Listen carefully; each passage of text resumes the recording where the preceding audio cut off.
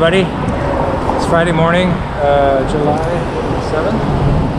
I'm back next to Frozen Man, my usual spot. Um, just waiting for the uh, South American uh, flute guys to finish up there. They said they'd be done at 12:30. So timing's good. I just got here a few minutes ago. I am back to using the blue Cool Music amp. I have tried out the orange version, which was more powerful, 80 watts. It was actually almost too powerful. It uh, a massive amount of volume, even at like 20%. I could barely stand next to it. So it was probably a little bit overkill. The only, the good, best thing about it was the battery. Uh, I was playing for five and a half hours and I still had two lights out of three.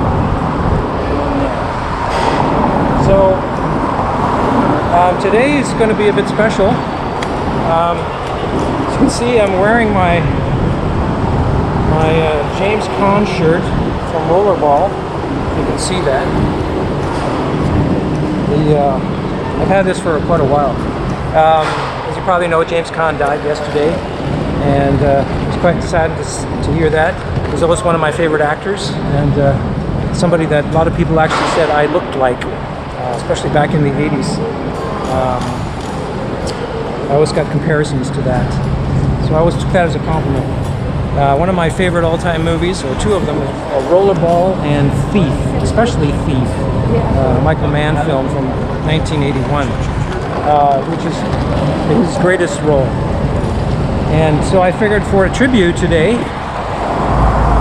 I'm going to uh, play the end theme from Thief,